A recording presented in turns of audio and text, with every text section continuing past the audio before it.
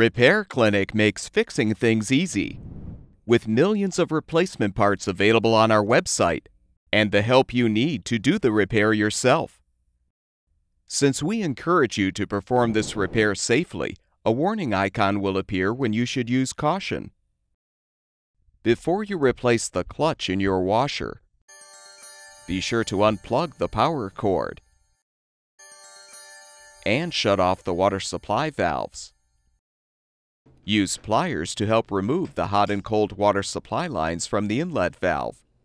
Be prepared for some water to spill out.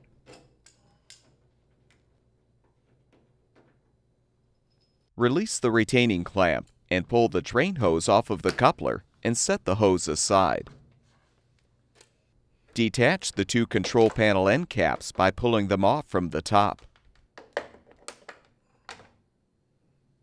Use a Phillips head screwdriver to unthread the two screws, securing the control panel.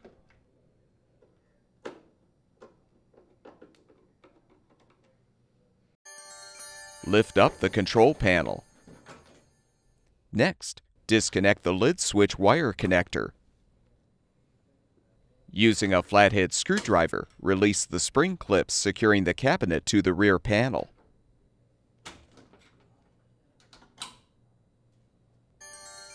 Tilt the cabinet toward you, slide forward, and remove.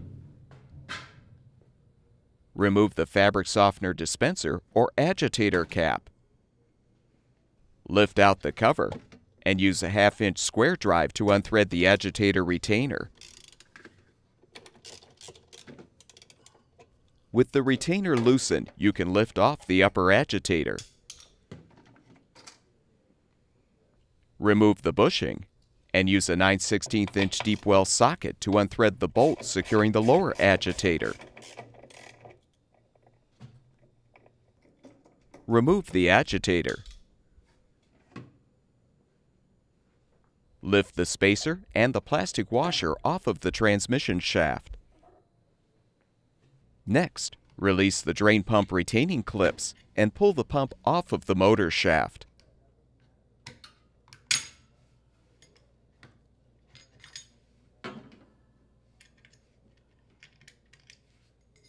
Disconnect the motor wire connectors. To make the procedure easier, we recommend uninstalling the motor. Use a quarter inch socket or nut driver to unthread the mounting screws. Release the bottom mounting clip. Support the motor, then release the top mounting clip and set the motor aside. Now carefully tip the appliance back and rest it on a towel or blanket.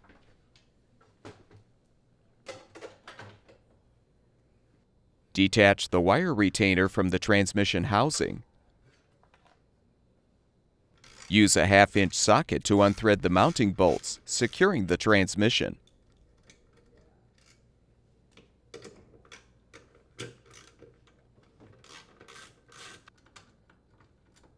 Slide the transmission out.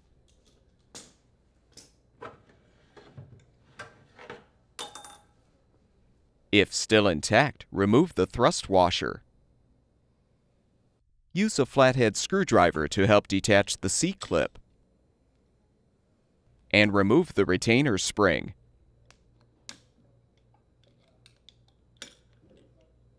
You can now lift the old clutch off of the transmission shaft. Prepare the new clutch for installation by inserting the bushing into the bottom of the housing. Now slide the new clutch onto the transmission shaft. Secure the clutch with the retainer spring.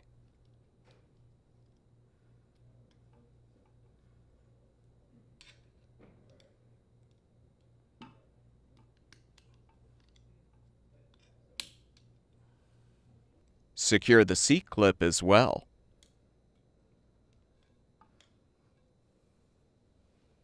Slide the thrust washer onto the transmission shaft. Then reinstall the transmission.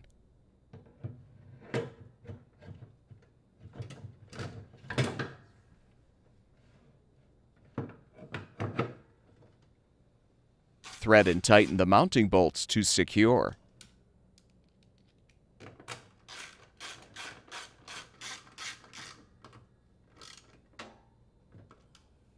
Snap the wire retainer into place. Return the washer to its upright position.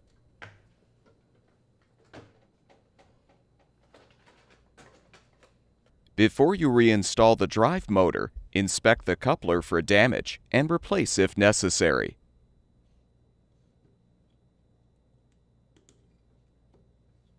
Now line up the prongs on the coupler cog with the holes in the isolator, then slide the motor into position.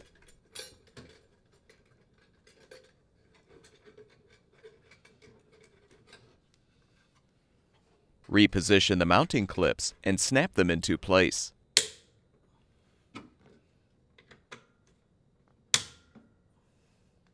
Rethread and tighten the screws.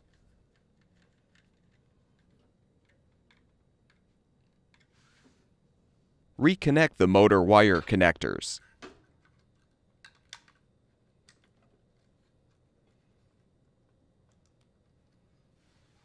Realign the drain pump on the motor shaft and secure the pump with the retaining clips.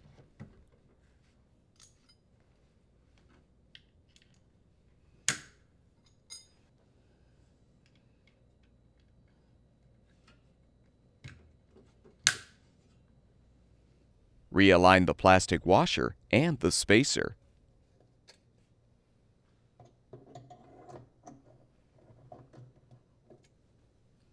Reposition the lower agitator.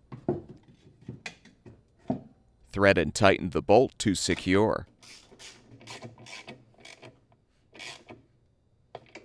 Replace the bushing. Realign the upper agitator and insert the cam and cog assembly.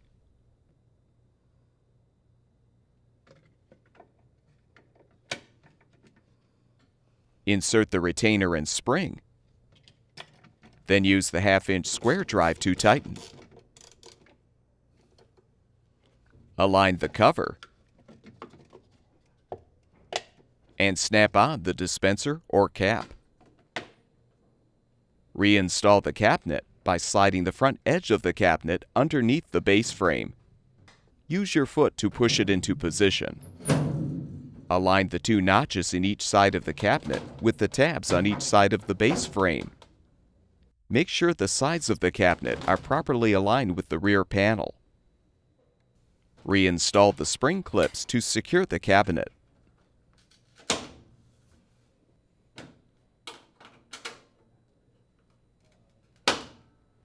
Reconnect the lid switch wire connector. Lower the control panel and snap the retaining clips into the slots in the main top. Rethread and tighten the screws to secure the control panel.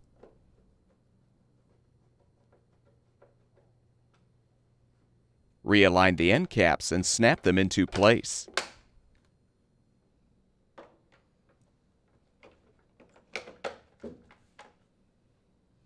Reattach the drain hose to the coupler and secure it with the clamp.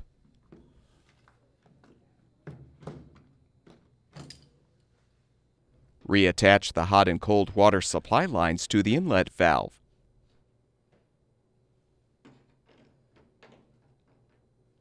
With the repair completed, turn the water supply back on. Plug the power cord back in and your washer should be ready for use. At Repair Clinic, we make fixing things easy. Thank you for supporting the production of these videos by purchasing your parts from our website.